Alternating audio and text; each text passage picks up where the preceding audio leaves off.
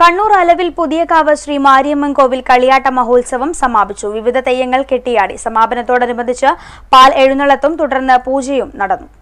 മൂന്ന് ദിവസങ്ങളായി നടന്നുവരുന്ന കണ്ണൂർ അലവിൽ പുതിയ ഭഗവതിക്കാവ് ശ്രീ മാരിയമ്മൻ കോവിലിലെ കളിയാട്ട മഹോത്സവം സമാപിച്ചു.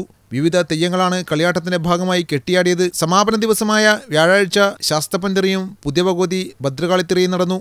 ഉച്ചയ്ക്ക് ശേഷം കുന്നാവ് പാൽപൂജ കമ്മിറ്റിയുടെ നേതൃത്വത്തിൽ പാൽ എഴുന്നള്ളത്തും തുടർന്ന് പാൽപൂജയും നടന്നു.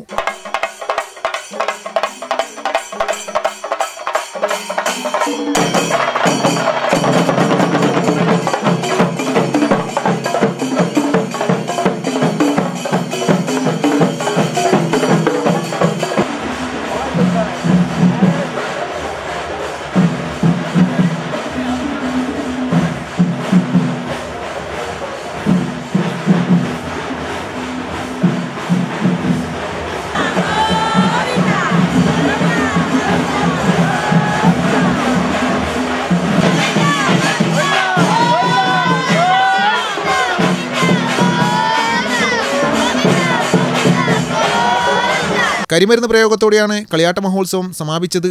News bureau Kannur.